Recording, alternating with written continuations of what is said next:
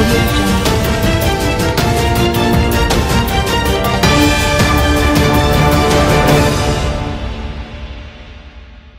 ನ್ಯೂಸ್ಗೆ ಸ್ವಾಗತ. ಎಂಬತ್ತಾರನೆಯ ಅಖಿಲ ಭಾರತ ಕನ್ನಡ ಸಾಹಿತ್ಯ ಸಮ್ಮೇಳನದಲ್ಲಿ ಅನ್ನಿಗಿರಿ ಬಸವೇಶ್ವರ ಕನಿವಾದನ ಮೇಳವು ಪಾಲ್ಗೊಂಡು ಸಮ್ಮೇಳನಕ್ಕೆ ಮೆರಗನ್ನ ತಂದಿತು. ಕನಿವಾದನದಲ್ಲಿ ಚಂದ್ರಶೇಖರ್ ಹೊಸಮನಿ, ರವಿರಾಜ್ ವಾರ್ನೇಕರ್, ಲಲಿತಾ ಸಾಲಿಮಠ್, ಪಾಂಡುರಂಗ್ ಓಶೇಖರ್ ಎಂ ಮಿಸಿ ಸುರೇಶ್ ಹಡಪದ್, ಗಾಳಪ್ಪನವರ್, ಲಕ್ಕುಂಡಿ ಮುಂತಾದವರು ಉಪಸ್ಥಿತರಿದ್ದರು. ವರದಿ ಈರಪ್ಪ, ಗುಡಿಕಾರ್, ಅಣಿಗೇರಿ.